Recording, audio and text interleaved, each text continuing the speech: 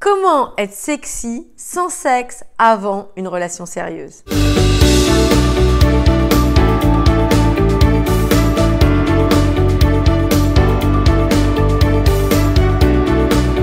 Bonjour mesdames, j'espère que vous allez bien, que vous avez la forme et que vous avez toujours ce désir ardent, puissant de comprendre comment les choses se passent avec les hommes, de les décoder, de faire en sorte de tirer votre épingle du jeu et ainsi d'attirer à vous le bon partenaire et construire une belle histoire d'amour stable, fluide et épanouissante. Et cela, peu importe votre âge, peu importe vos histoires passées et peu importe ce que les sociétés a bien voulu vous faire croire, à partir du moment où vous aurez en vous les bonnes connaissances, les bonnes compétences, je peux vous garantir que tout ceci sera du passé pour vous et vous ferez partie des femmes heureuses, définitivement heureuses en amour. Pour celles qui ne me connaissent pas, je suis Samantha Porpiglia, coach experte en relations amoureuses, mais aussi en développement personnel au féminin. Dans cette nouvelle vidéo, je vais parler avec vous d'un sujet qui me tient terriblement à cœur. Je le vois dans les retours que je reçois de vos messages.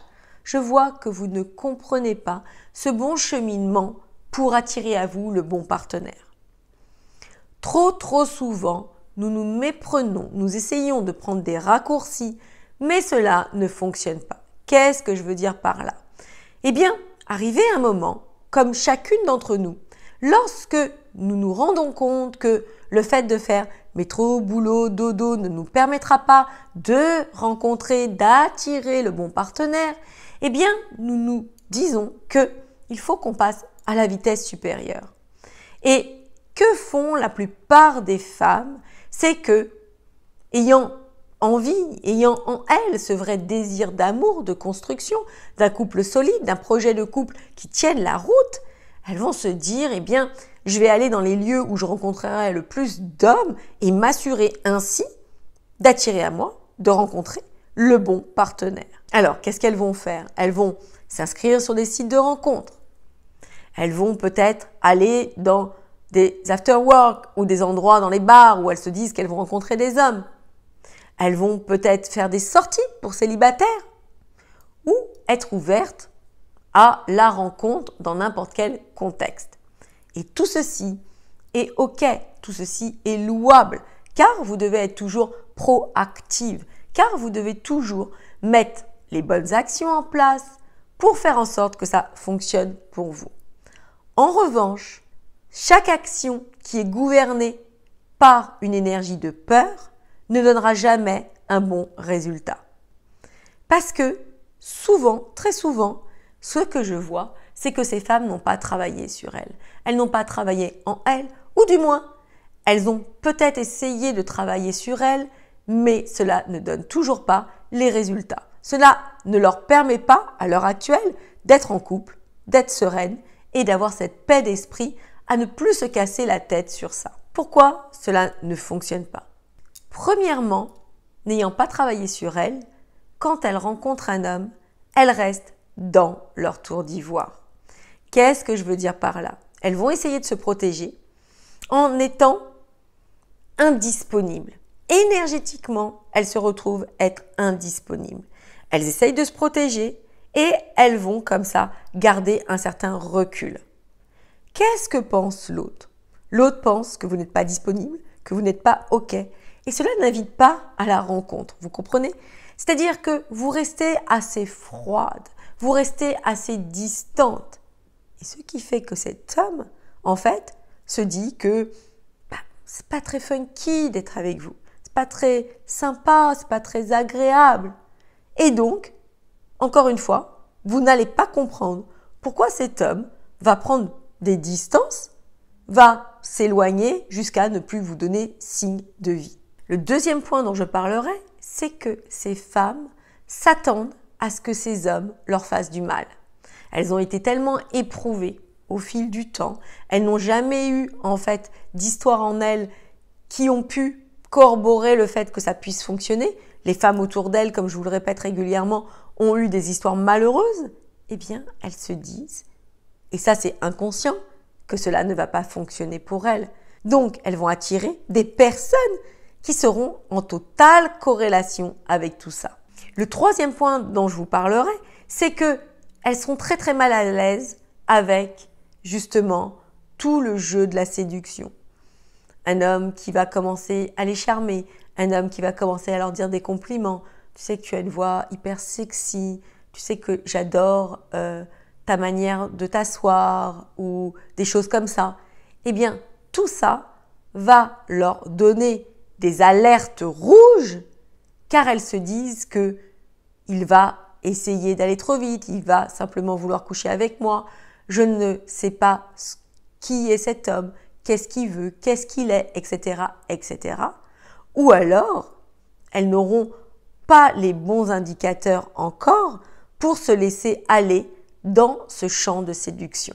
Vous comprenez que dans les trois exemples que je vous ai cités, ces femmes bloquent l'arrivée d'un homme, bloquent le fait d'attirer le bon partenaire, bloquent le fait d'être heureuse, de se donner cette chance d'être heureuse en amour. Donc, comment dépasser tout ça? Comment dépasser cet état qui vous bloque et ne vous permet pas, encore une fois, à l'heure actuelle, malgré vos efforts, malgré ce que vous essayez de mettre en place, d'obtenir un homme, un homme digne de ce nom, un homme valable, avec qui vous puissiez vous éclater, avec qui vous puissiez prendre du bon temps. Il ne s'agit pas de baisser ses standards, il ne s'agit pas de se dire que ce n'est pas pour nous. Non, nous, ce qu'on veut ici, c'est d'avoir notre part du gâteau. Nous, ce qu'on veut ici, c'est d'être réellement heureuse avec un homme. Et en soi, le bon pour vous. Donc, je vais vous parler de trois phases. Trois phases pour débloquer tout ça. Premièrement, comprendre que on ne peut pas se protéger sans avoir les bonnes clés en nous. Ce que je vous répète régulièrement, c'est que le savoir, c'est pouvoir. Aujourd'hui, vous pensez être suffisante. Aujourd'hui, vous pensez vous débrouiller au petit bonheur, la chance. Mais cela ne fonctionne pas.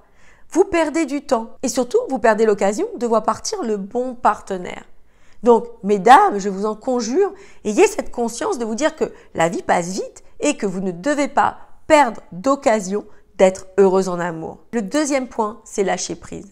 Lâchez prise sur votre passé, lâchez prise sur vos douleurs, lâchez prise sur votre ancienne version pour recréer une nouvelle version et vous donner cette possibilité, encore une fois, de pouvoir jouir de tout ça, de pouvoir vous sentir aimé, vous sentir valorisé, vous sentir courtisé par un homme. Parce que une drague pure peut nous mettre à l'aise. Mais le fait qu'un homme ait envie de nous donner, eh bien, ça peut véritablement être réconfortant, être tellement plaisant.